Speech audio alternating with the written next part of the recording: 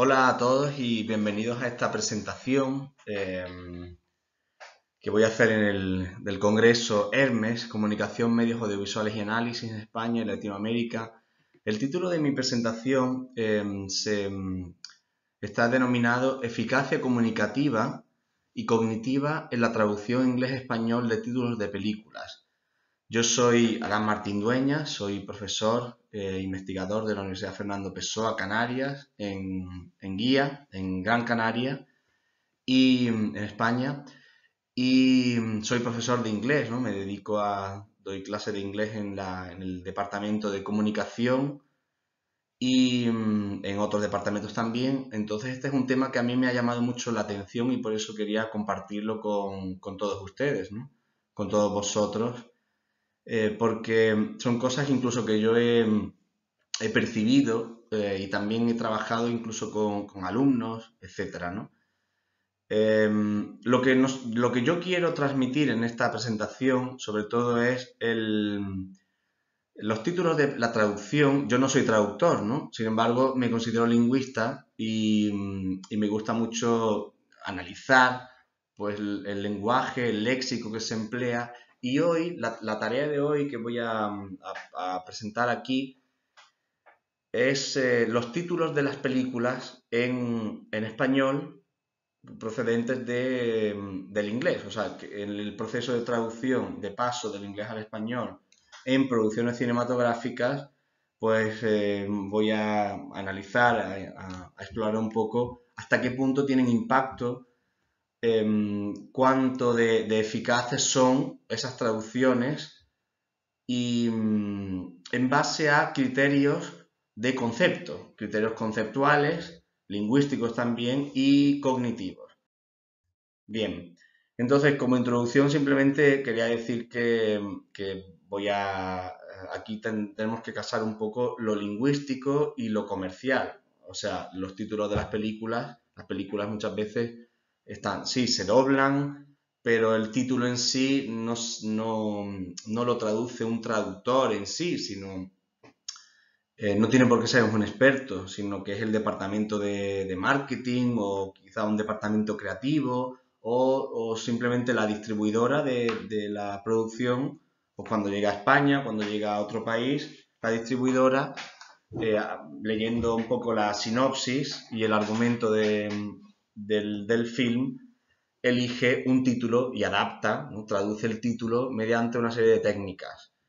Muchas veces el, problema es que las, el resultado, las elecciones léxicas, o sea, las palabras que se emplean, las expresiones que se, que se utilizan, muchas veces no son las más acertadas, ni tampoco las más impactantes, no solo a nivel comercial, sino desde el punto de vista incluso original de, lo conceptual, el mensaje que se quiere transmitir.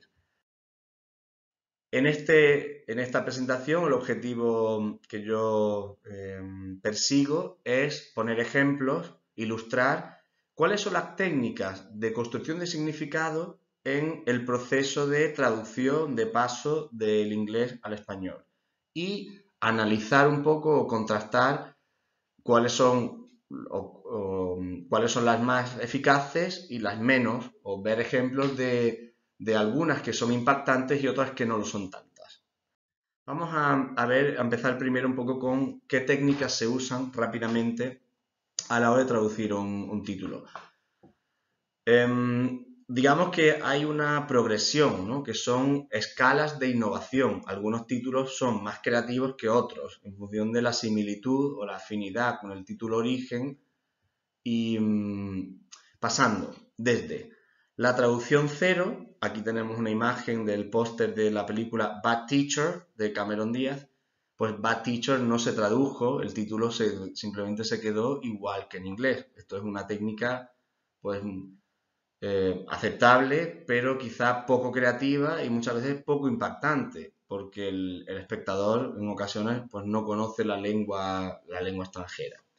También hay otra, otra técnica que es la traducción literal, con o sin cambios, o la traducción literal, algunos autores le llaman traducción cuasi literal, porque a veces hay que incluir pequeños cambios, porque la gramática o, la, sintaxis de cada lengua eh, es diferente, ¿no? Entonces hay que comunicar, no solo es comunicar, sino em, buscar la precisión y la, corrección gramatical y lingüística de, ese nuevo título. Por ejemplo, pues el Caballero Oscuro, pues, The Dark Knight, el Caballero Oscuro, pues no tiene ninguna, simplemente se ha traducido casi palabra por palabra. Y luego hay otras dos, dos técnicas que son mm, bastante interesantes porque son más creativas, son más innovadoras. Está la adaptación, en, el cual, en la cual se busca una, em, una, una, integración o una asimilación hacia la cultura de destino. Por ejemplo, tenemos la película em, Hocus Pocus, que en España se tradujo por El retorno de las brujas en, otros países de, Latinoamérica se tradujo por abracadabra. Entonces, abracadabra es la expresión que se usa en castellano para hablar de magia, de brujería. Sin embargo, el retorno de las brujas es simplemente un ejemplo de creación, que es lo que vemos aquí debajo, ¿no? Adaptación y creación. Abracadabra es un título adaptado no se ha traducido, no se ha replicado simplemente el, inglés hocus pocus, porque no tendría sentido en español, sino que se ha buscado el equivalente de esa expresión al castellano. Sin embargo, en el, en el cine, en la industria del cine en España, pues se tradujo por El retorno de las brujas, un título, digamos, explicativo, creado, nuevo, no quiero decir más impactante o no, es totalmente nuevo, sí, eh, aunque quizá en mi opinión como lingüista pues es más em, coherente con el, con el original el título de Abracadabra. Bien, vamos a ver, siempre, como digo, cuando, cuando se hace una, una traducción de un título de película, pues de forma connatural a la traducción es es obvio que se va a perder cierto significado. Por ejemplo, aquí tenemos Dumbo. Dumbo se tradujo literalmente, sin embargo, en español ha perdido totalmente la connotación quizá negativa, un poco peyorativa, que tiene, ¿no? En inglés tenemos dumb, dummy, eh, como el, el English for dummies, ¿no? El inglés para tontitos, el no sé qué for dummies también tenemos la película, esa es la saga de libros, ¿no? la, serie de libros em, de For Dummies, para Dummies. Luego también em, aquí he puesto a la, derecha el Dumb and Dumb, Dos tontos muy tontos, de Jim Carrey. Um, dumb significa stupid, ¿no? Idiot, como idiota, tonto, bobo. entonces, Dumbo tiene un poco que ver con eso, ¿no? pero al traducirlo al español, aunque se ha mantenido el nombre propio, el nombre original, pero pierde ese, ese ingrediente de, la, necedad, del, necio. Con lo cual es obvio que se va a perder algo. Vamos a pasar ya un poco como más al, a lo más interesante. Aquí tengo un ejemplo de, la metonimia. Hay traducciones que esta es mi favorita, el ejemplo favorito que he encontrado, de analizar una serie de pues, unos 20 o 30 títulos. Aquí tenemos la, película The Host, que en español se ha traducido por La huésped. Em, no porque host signifique huésped, no, más bien significa lo contrario. Es verdad que aquí hay como una asociación de metonimia, una parte por otra parte, de una parte del el parasitaje.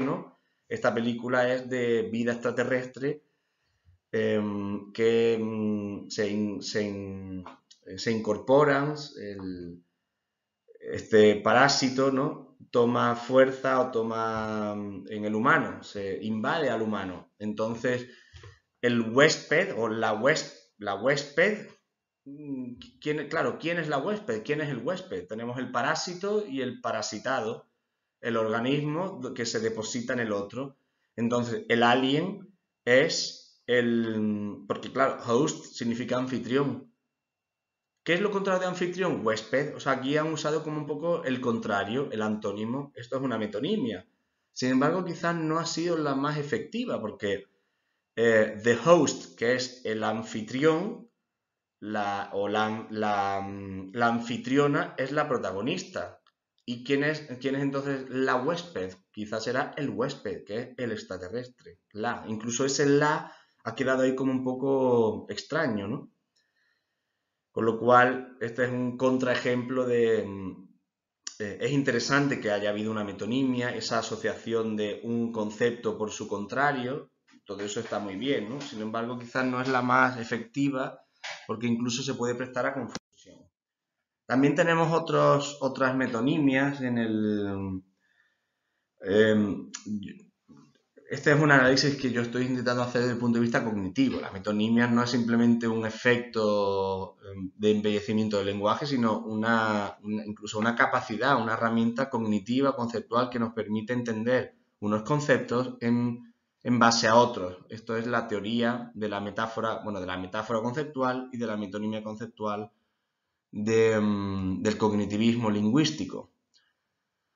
Aquí tenemos, por ejemplo, películas como Los becarios de Internship, Razón y locura de Professor and the Madman, Estimadoras compulsivas de Hustle. Es decir, hay un concepto amplio, quizá abstracto, como internship o razón y locura, hustle en inglés o en español, da igual.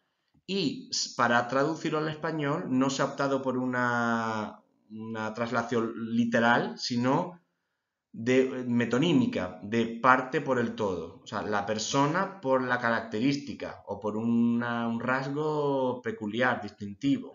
Por ejemplo, los becarios son los que tienen the internship, ¿no? O The Professor and the Madman son como la personificación de esos eh, conceptos como la razón y la locura, la cordura y la locura. The Hustle, el timo, pues no se ha puesto el timo, sino timadora, se ha referido directamente a, las personas. A veces esta metonimia, eh, que en ocasiones está muy bien empleada, mm, da lugar a, error. Una de las películas que, mm, a mí me gusta mucho el, título es eh, en el punto de mira, que en inglés es The Vantage Points. Pero aquí hay una dualidad entre el inglés y el español. ¿Por qué? Porque el título nuevo es como un poco incoherente con el, con el otro. El punto de vista, o sea, el vantage point significa punto de vista. Sin embargo, punto de mira es, si tenemos un objetivo como el que sale aquí en la, ilustración, en la fotografía, está el que mira y el que es mirado, o sea, el observador, el punto de vista del observador y el que está el observado, por ejemplo, en, el, en una pistola o en el objetivo ¿no? de una cámara fotográfica. Entonces tenemos que, el vantage point no es el punto de mira. El vantage point es el, punto de vista, el, observado, ¿no? Eh, perdón, el, el vantage point es el punto de vista. Yo miro, sin embargo, el punto de mira es yo, a mí me miran, con lo cual hay como otra vez otra metonimia, una parte por otra parte de todo el proceso. Fíjense que incluso aquí tenemos eh, este, esta especie de póster, ¿no? de anuncio, de publicidad. Está ocho extraños, ocho puntos de vista. Bien, puntos de vista. Sin embargo, punto de mira es, este es el punto de mira. Seguimos que a veces, em, a veces hay juegos de palabras que son muy difíciles de, traducir. ¿Por qué? Porque em, juegan con la fonética y con el significado. Uno de los ejemplos que yo he encontrado en el corpus es Maid of Honor. Difícil de traducir porque maid juega con el con maid no M A D E sino M A I D, Maid of Honor, como de bridesmaids, la las sirvientas, las damas de la novia, damas de honor. En español, en España lo han traducido por la boda de mi novia. En Latinoamérica, quiero robarme a la novia. Pues en ambos se ha hablado de la novia, pero se ha elidido, eh, se ha tenido que esconder el, protagonismo, ¿no? la fuerza de el maid of honor, que es el, como el, es difícil, no sé. A mí se me ocurriría mm, el, como que el, damo de honor, si queremos hacer también un, pequeño juego de palabras, como maid of honor, hecho de honor, o dama de honor, pues eh, aquí es eh, como el damo de honor. Entonces, este efecto de pronunciación está ausente en la nueva traducción.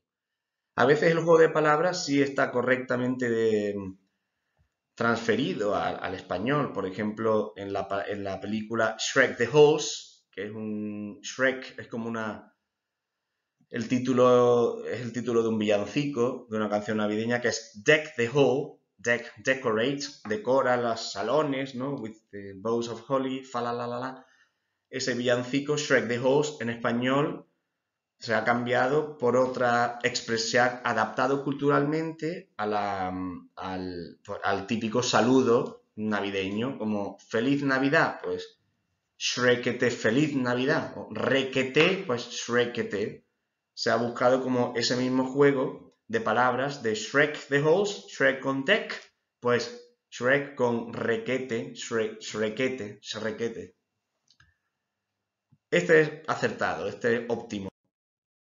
Em, otro, al contrario, es el Noche y Día, rodada en parte en Sevilla, ¿no? Y a veces criticada mucho porque eh, situaba los Sanfermines en sale una escena de Sevilla y sitúan los, los Sanfermines.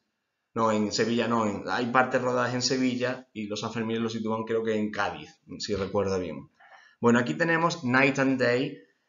En español se ha traducido por noche y día. Night ha perdido, night en inglés se pronuncia, o sea, night con K es caballero, eh, pero night sin K es noche. Hay un juego de palabras que en español se ha perdido no, podemos, no hay caballero y día. Caballero y día ya rompería el, mm, el balance, ¿no? El, juego entre noche y día. Sin embargo, curiosamente, yo me he fijado que ganamos, esto es simplemente una curiosidad, ¿no? Pero eh, tenemos night and day y en español noche y día. Se ha perdido el juego de palabras de night, caballero, y night, noche pero parece como que se ha ganado el juego de palabras con Día y el apellido de la, actriz Díaz, Día Díaz. Con lo cual, incluso en el póster, pues, e, el, juego fonético está presente de alguna forma. Bien, em, aquí hay otros que también tienen juego de palabras, como Monster in Law. In law se añade en inglés para decir político, ¿no? mi suegro, father-in-law, eh, mother-in-law, madre política, suegra, suegro. Monstruo político, ¿podría haber sido la traducción en español? Sí, pero claro, cuando hablamos de hijo político, madre político, a veces es un, registro un tanto formal, ¿no? En una esquela de un periódico, pues dice, le recuerda su hijo político, le recuerda su, Em, para no hablar de nuera o yerno, suegro, suegra, se habla eso de político. En inglés es como mucho más común, ¿no? My in-laws. Con lo cual, tanto en España como en Hispanoamérica, pues se ha traducido por la madre del novio en España y en inglés parece que una suegra de cuidado. Se ha puesto lo de la suegra, no solo la madre del novio, sí, la madre del novio es la suegra.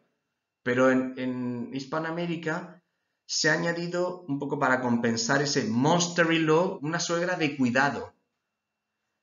El significado que perdemos o que, o que está encapsulado en monster pasa de cuidado, suegra de cuidado. Em, a veces este juego no, no es solo fonético, sino es léxico. Por ejemplo, la, película de Jim Carrey, Liar, Liar, mentiroso, literalmente mentiroso, mentiroso. Sin embargo, aquí se ha optado eh, cognitivamente y quizá de forma un poco más eh, coherente con el español, em, se ha expandido, ¿no? se ha potenciado mentiroso con la, con la metáfora de la enfermedad, ¿no? la, la compulsividad mentiroso compulsivo. Se ha ampliado, eh, se ha fortalecido el significado de mentiroso, mentiroso compulsivo, en vez de liar, liar, doble palabra también, pero em, se ha optado por una metonimia, por una conexión con el mismo campo semántico de palabra mentiroso. Una de las partes más interesantes, em, ya casi estamos llegando al final, es los falsos amigos y los anglicismos.